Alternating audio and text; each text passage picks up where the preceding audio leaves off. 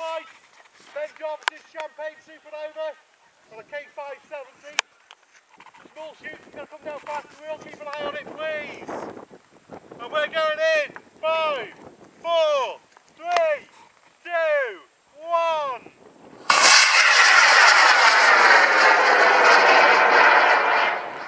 Nice and loud, that